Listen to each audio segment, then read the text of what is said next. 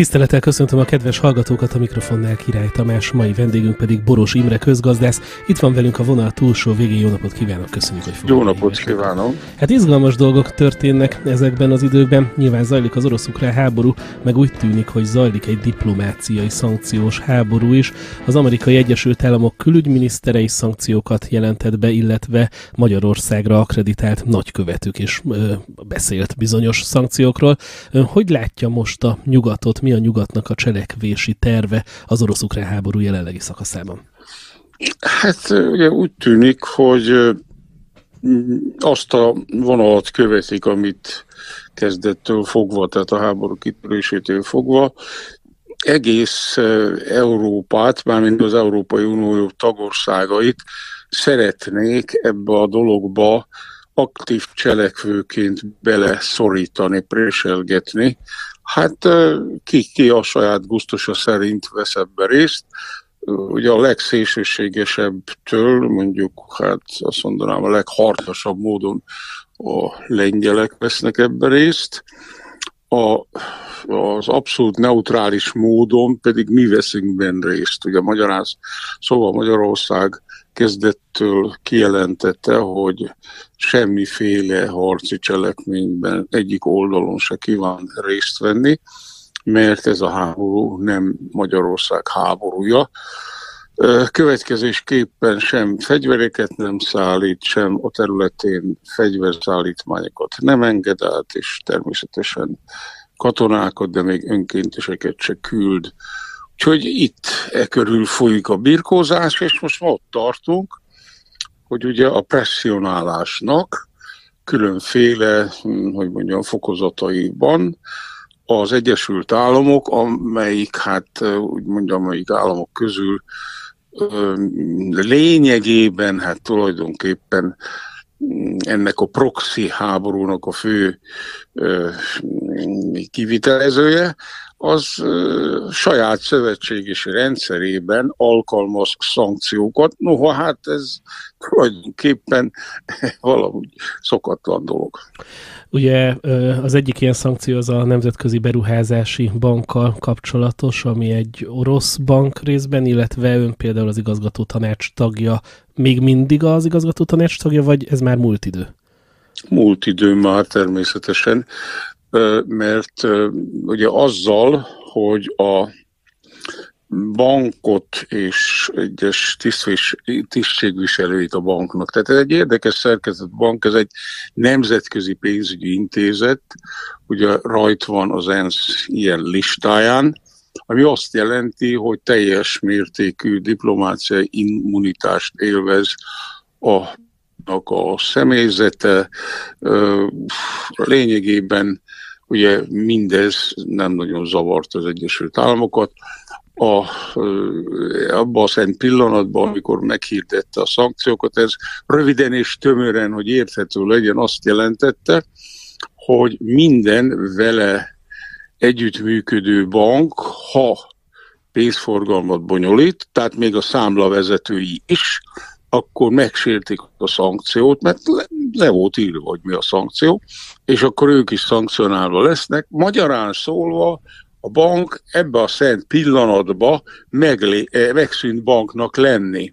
Hogy az a bank, az a pénzintézet, amelyik nem fogadhat és nem indíthat fizetéseket, az nem létezik bankként. Hát a banknak a lényege, hogy fizetéseket fogad és indít, tehát pénzforgalmat bonyolít, a másik lényege pedig, hogy hiteleket nyújt és betéteket gyűjt, de miután pénzforgalmat nem bonyolíthat, hát ezek a dolgok is ellehetetlenülnek, tehát abban a szent pillanatban ez megszűnt, és a magyar állam bejelentette, hogy visszavonul ettől az intézettől, ugye? Ezt jogosnak és... tartja? A, tehát, ez, tehát ezt egy logikus lépésnek tartja a magyar állam lépés? Hát nem is volt más lehetőség, hát értse meg, hát ez a bank nem létezik. Hm. Ebben a szent pillanatban bank, hát az olyan, mint hogyha ha emberi szervezetre fordítom ezt az egészet, mintha megszűnik a vérkeringés és a lélegzés egy személynél. De akkor mondhatjuk, akkor hogy személy... ez a szankció, ez gyakorlatilag működött.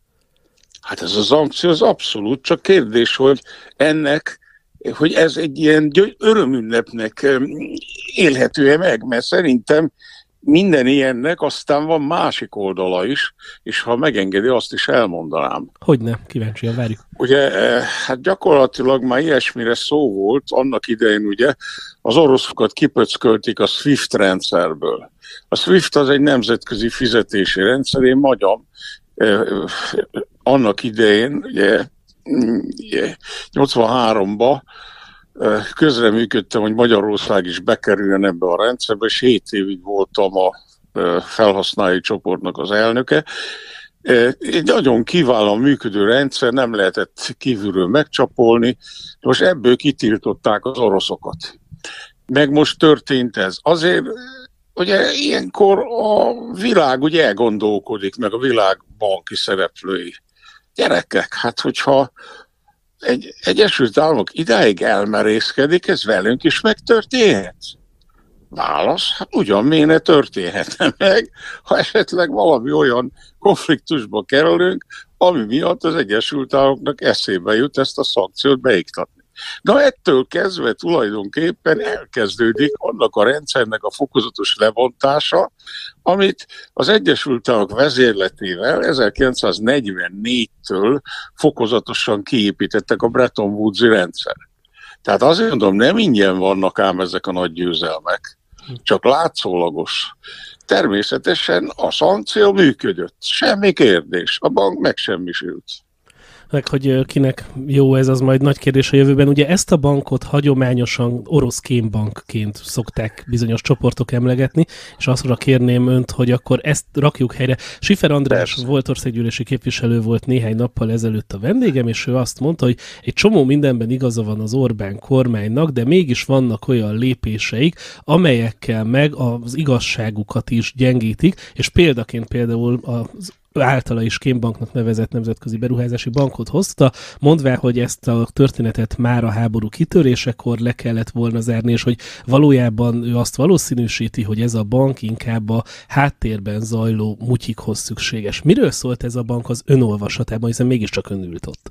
Hát természetesen bent voltam, sőt, akkor el, el, mindjárt az egész történetet elmondom, hogy ezt 1970-ben alapították, a KGST tagországai, mert 70 körül kezdődött el az a tendencia, hogy ugye a orosz energiahordozók elsősorban nagyon, hogy mondjam, divatosak lettek a KGST országokban is, meg azon túl is nyugaton, és rengeteg infrastruktúrális beruházásra volt szükség, ezek a csövek ugye jöttek a barátság, a testvériség, a jamal, a jó ég tudja még melyik nem, és akkor ezeknek a finanszírozására hozták létre ezt a bankot.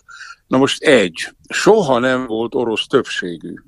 Tehát ezt azért le kell szögezni. Soha nem volt olyan, hogy az oroszok ebben a bank ide el tudtak volna dönteni, még a KGST időben sem. És most se. Tehát ez egy nagyon fontos dolog. A másik, hogy kémbank, hát ezt mondjuk egy olyan élces hülyeségként el lehet fogadni, de egyébként nem.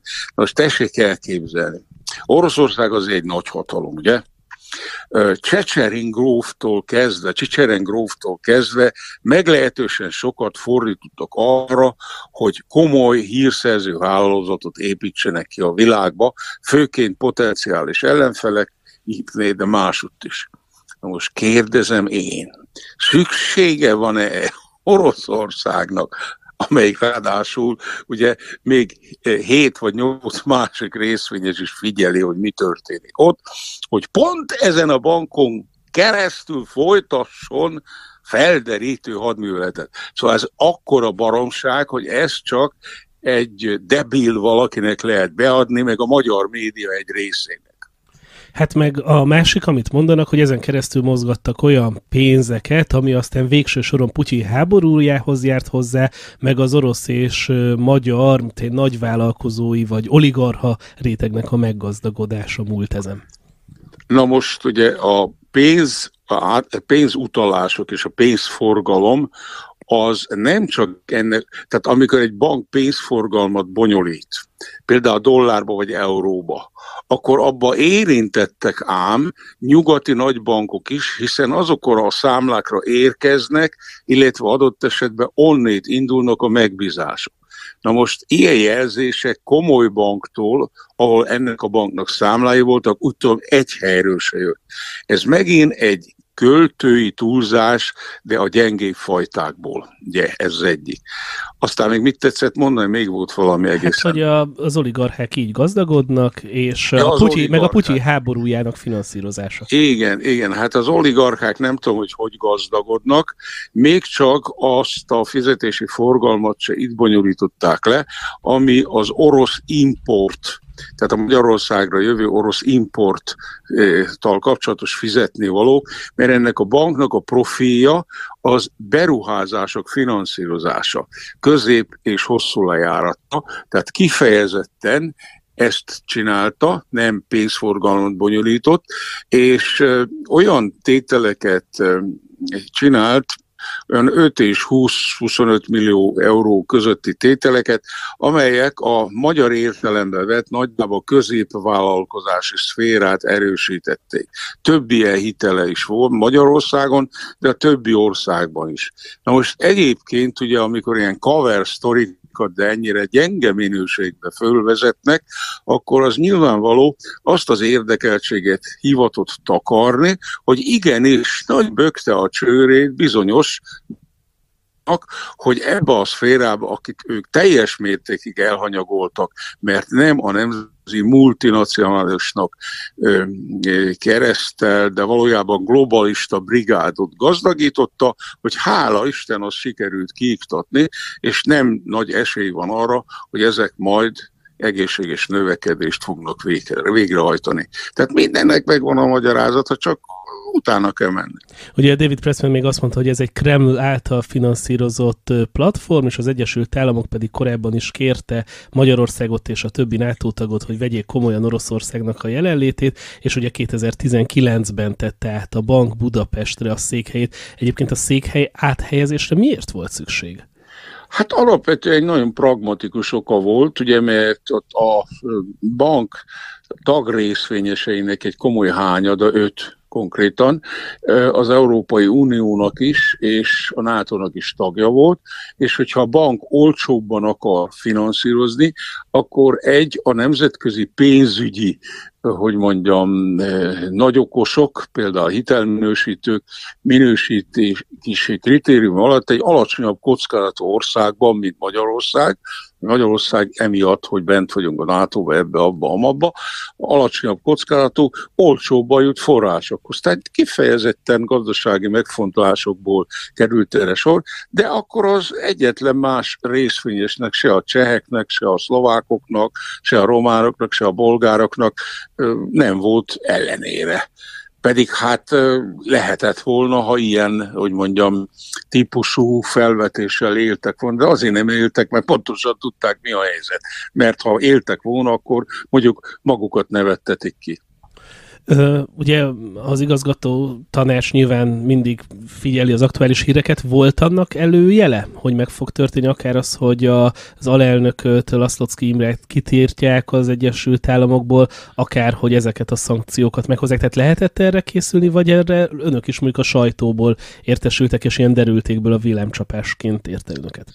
Végül is az utóbbi az igaz, mert ugye az amerikai nagykövet az belengedte, hogy hogy uh, majd ez lesz, az lesz, amaz lesz, hatalmas nagy lendülettel. Ugye előtte már napokkal a sajtó lázban éget, hogy most mi mindenféle bejelentés lett, és abból a mindenféléből ez maradt, magyarán szólva, hogy az elnökség, ugye azok az exekutívok, mi nem voltunk exekutívok, mi az országok, minden ország delegált egy igazgatót, ugye, de nem a napi üzleti tevékenységbe vettünk részt. Tehát ez marad belőle, hát mindenki azt hitte meg már itt a sajtó egy része dörgölgette a, a kezét, hogy fú, most aztán ez lesz, az lesz, amaz lesz.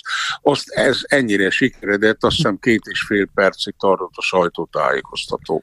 Ahhoz képest, amiket előzetesen, írtak, amiket előzetesen írtak cikkeket, és abban üzentek különböző dolgokat Magyarországnak, az erősebbre sikerült, mint maga a sajtótájékoztató. Hát azért mondom, hogy nagy volt a várakozás, a sajtótájékoztató, és akkor ennyi maradt az egészből, ugye? Az az igazság, mondom, hogy ez azért nem csak örömünnep, mert miközben ilyeneket csinál az Egyesült Államok, közben mondjuk azt, hogy szinte berobbant, alá, alá robbant a dollárintézménynek. Hm. Tehát nézze meg a világban, keresik a kiutot Ugye a BRICS-esek is már saját pénzen szórakoznak, a kínaiak már elintézték, hogy Joannal fizetgethessenek olajért, az oroszok is rubelér árulják a portékát, meg, meg, meg egyebek, szóval, és az Egyesült Államok pénzügyminiszterének jelen asszonynak, aki tényleg rendkívül képzett és felkészült, aki korábban a Fed Reserve-nek is volt ugye az elnöke, most meg a pénzügyminiszter, hát egyre inkább fáj a feje például az ügyben, hogy akkor beáll-e a csődállapot az Egyesült Államok költségvetésében. És ez egyáltalán nem eh, vicces kérdések, mert az az egész világot megrengeti, vagy megrengetné. Sőt, most legutóbb az Európai Központi Bank elnöke, a Lagarde asszony kezdett ez ügybe aggódni. Szóval azért mondom, mindennek ára van, ahhoz képest, hogy mekkora mondjuk bajt zúdít magára ezzel a lépéssel az Egyesült Államok, az képest ez egy eléggé soványka intézkedés, noha természetesen okozott kárt, ezt nem akarom én lekicsinyelni természetesen, úgyhogy hát így állunk ezzel. Na ehhez a témához... egy hát utol... ez része a nagy egésznek, ugye? Igen, igen. A témához egy utolsó gondolat, ami kicsit megmosolyogtató is, hogy múlt héten beszélt ebben, erről a Hír TV-ben is, és azóta próbálják nyelvtanilag értelmezni, hogy mire gondolhatott. Megjelent több helyen is egy olyan cikk, hogy... Hogy mondjam már el én, hogy mire gondoltam magának is, meg hogy mit is mondtam. Jó, akkor hadd idézzem be, hogy elvileg azt mondta, hogy én úgy gondolom, hogy egy lépéssel le vannak maradva az urak, mert ha Oroszországot akarják ütni, akkor tulajdonképpen az egyik szövetségesüket ütik Magyarországot, Tudni illik, mi vagyunk az egyik első számú részvényesei ennek a banknak. Jó ideje, ezt mondta, és aztán azt, azon kezdtek el gondolkodni az újságírók, hogy most akkor Magyarországot Oroszország szövetségeseként írta le, vagy Magyarországot Amerika szövetségeseként írta le, úgyhogy most a forráshoz fordulok, mire gondolt a nem gondoltam, én kifejezetten mondtam, hogy Amerika a saját, már mint Amerika szövetségesét üti Magyarország, de meg kell nézni a szöveget, nem ártám, hogyha ez ugye egy esti adásba ment át a napi aktuálisba a Hír TV. Egyszerűen, aki azt félreérti, az már, hát azt mondanám, szellemi debilizmust határ, egy vagy azon túl, de hát sajnálatos módon a hírhamisítás az mai média egyes szereplőinek a kedvenc játékszere. Tehát azt mondtam, sőt, aztán később, amikor fölkérdeztek, azt mondta, és nem csak minket, magyarokat ütött az Egyesült Államok, hanem még a románokat, meg a bolgárokat is, mert a kiszállás eddig még csak a csehek és a szlovákok esetében perfektuálódott. A másik kettő bent van a bankba változatlanul, mert addig a másodpercig, amíg a hivatalos kiszállás nem történt, mindenért ugyanúgy felelnek, mint a magyarok meg az oroszok. Tehát nem csak minket, hanem két további szövetségesnek is jó nagy maflataslit lekevertek ezzel. Nem tudom, hogy ez cél volt, vagy nem volt cél, de ez történt, ugye? Én azért... Erre kihozták azt, ha a csúcs az volt, hogy én azt mondtam volna, hogy akkor mi az oroszok szövetségesei vagyunk. És egyébként nem hát, vagyunk? hát most elnézés, üzleti partnerei vagyunk. Hát üzletes, ne, ne viccelődjön, most már gondolom tréfára vesszük a dolgokat. Hát üzleti partnerei vagyunk, azt szeretnénk, ha egyes barátaink azt szeretnék, azok se lennénk, de hát alternatívát nekünk nem kínált senki azért a kereskedelmi kapcsolatért és az abból realizálható nemzetgazdasági hasznokért, amit Oroszországgal folytatunk, nevezetesen viszonylag jó áron, viszonylag stabilan, jól képetett infrastruktúrába hozzá tudunk jutni az onnét érkező alapvetően energetikai teljesítményekhez, ugye a gázhoz, a kőolajhoz, és az atomenergiának a megfelelő dolgaihoz. Tehát erre nincs. Tehát azt mondja, nem azt mondják, hogy gyerekek, hát itt van, hát amit mi adunk nektek, az jobb, mint az. Hát ez egy ajánlat. De az, hogy ezt fejezzétek be, az pont, az egy sarolás. Szóval én azt egyébként... nem nevezhető módon. Igen. Szóval én azt egyébként nem gondolom, hogy ilyen véletlen járulékos veszteség lenne Magyarország, hogy valójában nem is ellenünk szól, csak beleestünk a szórásba, hiszen azért az elég beszédes, hogy Pressman ugye elutazott Blinkelhez, ott megbeszéltek valamit, majd hazajött, majd hazajött és bejelentette mindezt, és uh, ugye egyre több ez a kommunikáció, hogy aggódva figyelik itt a Magyarország és Oroszország kapcsolatát, hogy az a kérdés, hogy ez vajon abba illeszthető be, hogy most a nyugat tényleg önzetlenül mindent megtesz Ukra Ukrajnáért, és meg akarja menteni, vagy ez valójában a nyugati vezetők saját érdekéről szól? Hát ugye ezt is, na most, na most akkor kezdünk, ha nem tudom az időből mennyibe vagyunk be. Bármennyi időnk van erre a témára. Bármennyi, akkor, akkor, akkor nézzük át ezt az egész dolgot. Ugye orosz-ukrán háborúnak van az egész címkézve, Tény, hogy Oroszország megtámadta Ukrajnát, agressziót követett el, erről ne vitatkozzunk. Ez tény, az a nemzetközi jog szerint így van.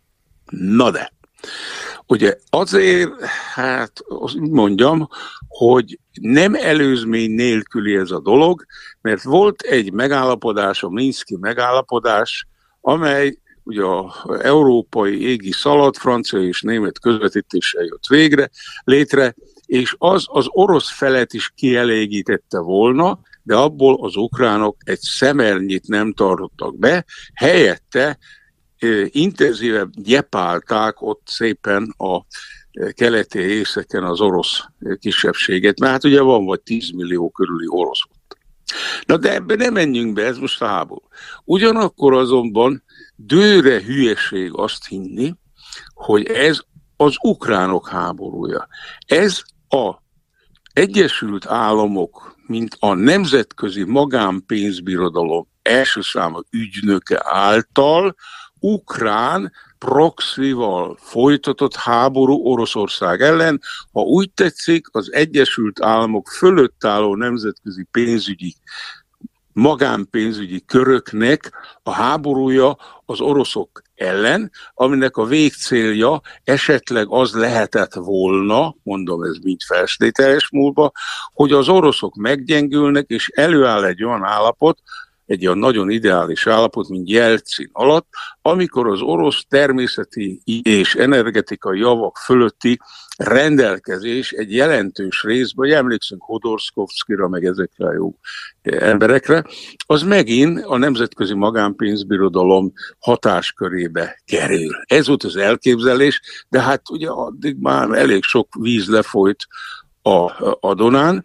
Ugye ez úgy tűnik, hogy nem nagyon jön össze, és hát ki a teherválló? Ez is nagyon érdekes, mert a terheit ennek az egésznek egyre nagyobb mértékben a finanszírozási terheit átolják Európára.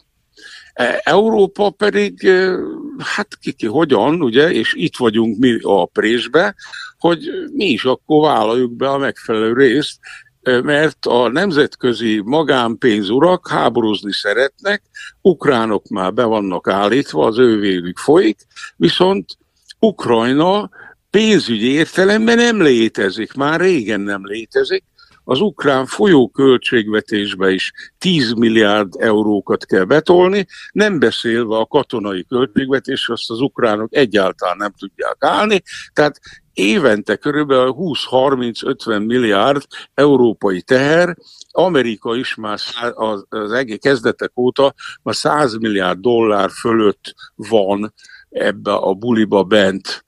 Na most kérdem azt, ez az európai országok adófizetőinek, meg az Egyesült Államok adófizetőinek szolgálja az érdekét. Azt hiszem erre nagyon egyszerű a válasz, mert hogy nem. És kinek szolgálja az érdekét? Mert ugye nagyon érdekes most például mindenki a különböző gabona exporttal kapcsolatos történetekről beszél. Ugye közben azt is lehet hallani, hogy amerikai vezetőknek milyen termőföld érdekeltségei vannak Ukrajna területén, és ugye ha így nézzük, akkor benne mindig az a kérdés motoszkál, hogy egyébként ha ott valakik tulajdonnal bírnak, akkor nekik miért érdekük, hogy háború legyen? No, áhá, álljon meg a menet. Tehát itt, itt, itt tulajdonképp azért folyik a háború, hogy megvédjék azt, amit megszereztek. Tehát, hogyha csúnyán fogalmazok, akkor a motyót meg kell védeni. Hát ezeket a dolgokat, nevezetesen például az ukrán termőföldnek körülbelül a, hát egy a 40-50 százalékát, ugye egy törvénymódosítással, amit egyik ukrán elnök sem volt hajlandó még a Poroshenko eddig átvinni, amely szerint külföldi és amely szerint társaságok is szerezhetnek termőföldet. Már pedig szereztek 17 millió hektárt. Ez annyi, mint Magyarország, meg Szlovákia együttes területnagysága, és az ukrán termőföld a legmagasabb termőértékkel rendelkezik. Tehát az ezen való termény ma már formailag ukrajnai GDP-t gyarapít, azonban ehhez az ebből a GDP-ből szerzett jövedelemnek csak olyan hányada Ukrajnáé, vagy az ukránoké, amelyen nagyjából ugye a munkabér. Az összes többi, tehát amikor a hajók jönnek ki a kikötőkből, vagy gurulnak át a szerelvények, és például ahelyett, hogy betartanák hogy Magyarországon csak átrobognak és mennek a célállomásokra, helyette itt ledeponálják, és jó szétizélik a, a magyar gabonapiacot, meg a lengyelt. Ugye ez már, hát ez az ukránoknak vajmi kezés köze van. Azt ugyan nem tudom, hogy az ipari és egyéb kulcságazatokba milyen mértékű a tőkebehatolás, mert az nem nagyon jön le, de vélhetően ott is nagyon nagy. Tehát itt tulajdonképpen ez a magánpénzbirodalom ukrán vérrel, amerikai és európai fegyverekkel a saját érdekeit védi. A másik oldalon vannak az oroszok akik szintén a saját érdekeiket védik, mondván, hogy az oroszok által lakott területeket ők mindenféle jogon, egyébként történelmi hivatkozásokat is elővezettek, mondván, hogy Ogyesszát Nagy Katalin alapította, és az tény, a Krimet 54-be adta oda az ukrán SSK-nak Ruscsov, az tény, meg az is, hogy a Donbass valamikor a 20-as, 30-as évek területén került hivatalosan az ukrán SSK, ez is tény.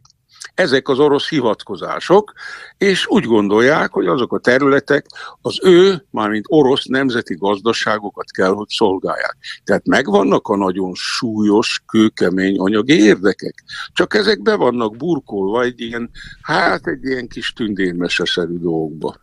Egyébként akár a Donbass, akár a Krímnek a kérdése az csak és kizárólag érzelmi kérdés, vagy valójában gazdaságilag is kulcsfontosságú létesítmények vannak ott? Hát a, a krím, krím, hát most ide figyelj maga, nyilvánvalóan fiatal. De annak idején ugye a Fekete-tengeri üdültetés a nagy Szovjetunióban, az a krím, Szocsi, ez fogalomszámba ment. Tehát gyakorlatilag egyrészt turisztikai jelentősége van, de a Fekete-tengeri kikötő Szevasztopol is ott van, az orosz hadifotta az oda állomásozott be, és volt az ukránokkal egy megegyezésük, hogy nem tudom, 30 évre bérbe veszik, vagy bérbe vették Szevasztopolt a hadikikötőnek, és az ukránok, vagy az oroszok attól is tartottak, hogy ezt az ukránok amerikai parancsra majd fel fogják mondani.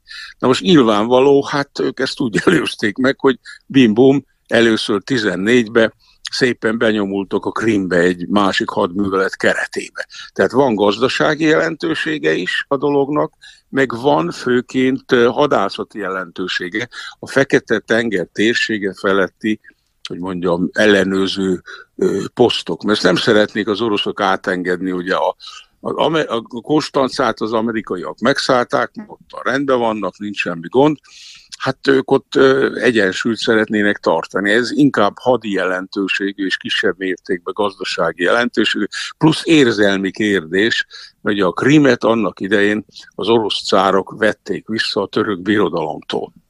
Orosz cárok, nem ukrán cárok, de ez mondjuk történelmi tények, ugye hát itt ez, ezzel kár vitatkozni. Nem mondom, hogy az egyértelműen jog, jog, jogforrása annak a cselekvényeknek, ami végrehajtottak, de hivatkozásnak viszont egészen jog. Meg ugye vannak ilyen berögződések, mi szerint az országok határai azok változhatatlanok ahhoz képest, amit mondjuk a 20. században megállapítottak, és most mintha ezek a tételek megdőlni látszanának, csak a kérdés az, hogy vajon ki, tehát mert ugye az ukránok is azt mondják, hogy nekik az a végső céljuk, hogy még a Krimből is kiűzzék az oroszokat. És szerintem ez egy irreális cél, de ahogy egyre többet mondják, egy kicsit úgy tűnik, mintha elkezdenének hinni ebben. Hát nézze, ugye a második világháború után létrejött egy, egy mondolán megmerevedett egy rendszer, ebbe bele tartoznak. Lényegében az első világháború utáni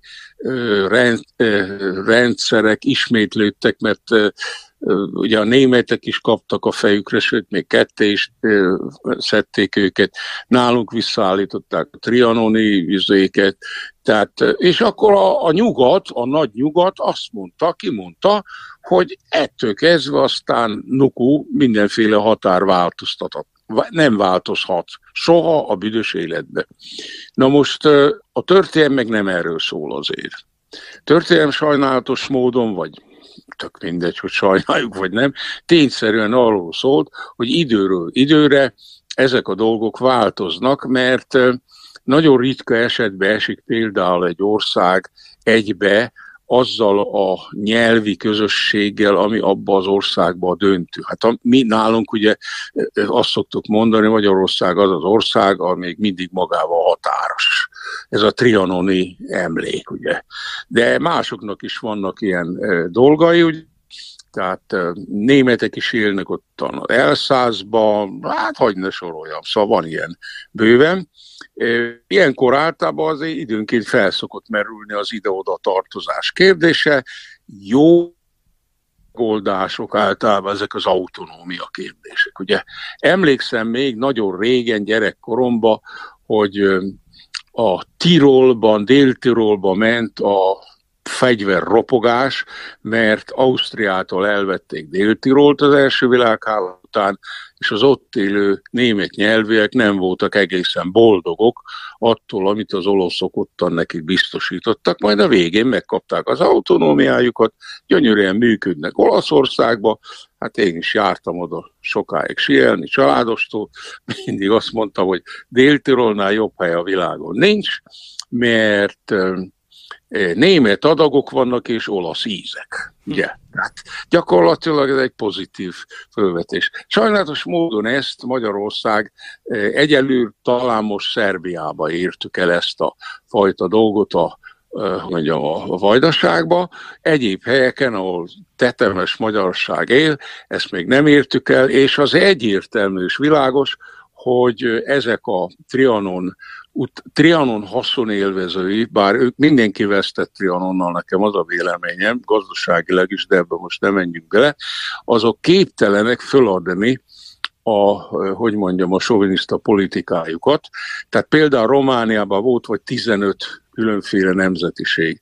Most már lényegében a 1918, tehát évszázad alatt lényegében a a, a cigányok meg a magyarok élték túl, úgyhogy még léteznek.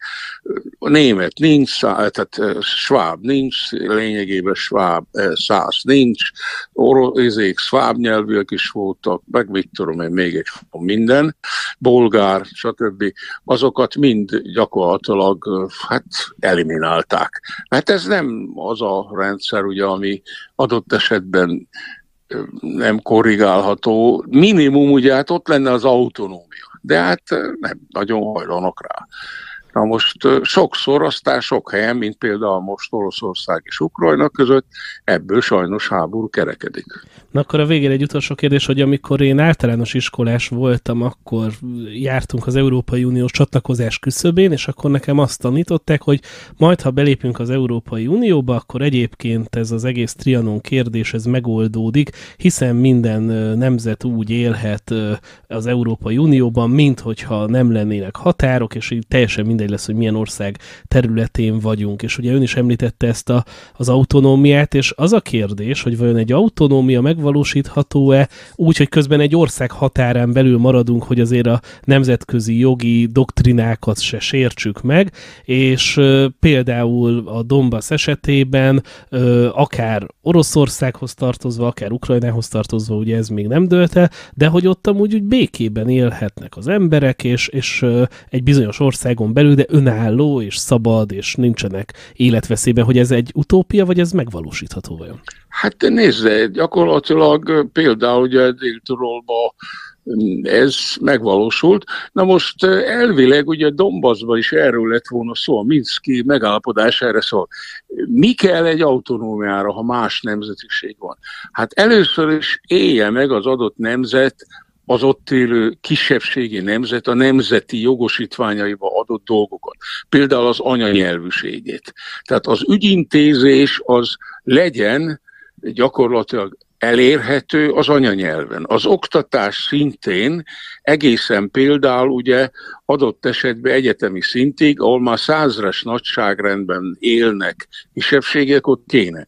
Na most ezek gyakorlatilag nem adottak. Most mondanék magának valamit, hát én ugye hosszabb ideig közgazdasági egyetem pénzügyi tanszékén is oktattam, és mint fiatal tanársegély, hát ugye az volt a dolgunk, hogy ilyen csoportokat vigyünk csereberélni és a Kievi Népgazdasági Főiskolával is volt ilyen kapcsolat, én kétszer, háromszor is voltam ott. Írd és mond, ott ukránul senki nem beszélt. Csak oroszul voltak előadások, de egymás között is oroszul beszéltek. Szembe például Jerevánnal, az három milliós országgal az egyetemen örményül vagy oroszul is hallgathattál, eldöntetted. Tehát tulajdonképpen ilyen igény nagyon nem volt, pedig hát Ukrajna akkor is vagy 45, talán még 50 millió is volt, Örményország meg 3 milliós. Tehát most, most arról már ne beszéljünk, hogy adott esetben az ukrán nyelv fejlettsége milyen volt, tehát hogy folyamatosan művelteik-e ukránul a különféle tudományokat, azt én nem tudom. Az tény, hogy azon a nemzetgazdaság főiskolán kutya nem beszélt ukránul. Vagy legalábbis én nem hallottam. Na most nem azt mondom, hogy nincs, persze van, hogy ne lenne ukrán nyelv, meg, meg nyilván joguk van hozzá, de hát miért nincs joguk az oroszoknak ott azokon a területeken, ahol ők vannak, adott esetben kellő számban iskolát fenntartani, óvodát, óvodát, bölcsődét, óvodát, iskolát, főiskolát, egyetemet, és így tovább. Na most ezekben ugye azért nem hiszem, hogy, vagy akár hogy a kárpátaljai magyarok Hát már elnézést. De ugyanúgy körülbelül egy két-háromszázeres románság. Akkor ugye Dobrudzsába, amikor Dobrudzsa a románokhoz került, hát a többségben voltak az oroszok meg a bolgárok. Hát most már hivatalosan alig van ott orosz meg bolgár, de hát az ugye a Románia, de ők ugyanezt a játékot folytatják, mint az. Szóval itt ezekről a kérdések, te persze, tehát nyugodtan tartozhat az ember egy másik országba is. Hát annak idején elég sokat jártunk a Jugó tengerpartra, a Szosziba, családdal. És találkoztam vajdasági magyarokkal, ez a Kádár rendszer volt. És mondtam nekik, szeretnének-e visszajönni Magyarországra. A fele szerette, mondták, szeretne a magyarok, Kádárhoz, de hogy jövünk vissza, jó dolgunk van itt a Titónál. Hm. Tehát érti? Meg lehet ezt szervezni okosan, ügyesen, hát hogy ne lehetne. Más dolog, hogyha ez diktatórikusan, és az emberi alapvető jogok lábbal tiprásával állunk, és hát sajnos az ukránok ebbe a hibába beleestek. Na, hát bizonyára... És ezt a nyugat támogatja, ami meg nekem a legnagyobb fejtörést okoz, és azért gondolom, hogy itt is tulajdonképpen a nyugat ássa a saját sírját, mert ez teljes mértékben ellenkezik a nyugat által meghirdetett demokratikus alapelvekkel. Hát bizonyára sokat fogunk még ezekről a témákról beszélgetni, mert ez nem holnapra oldódik meg, viszont hát nem, kíváncsian figyeljük, hogy milyen megoldást eszközöl neki. Boros Imre, nagyon szépen köszönjük, hogy itt volt. Kérem szépen, minden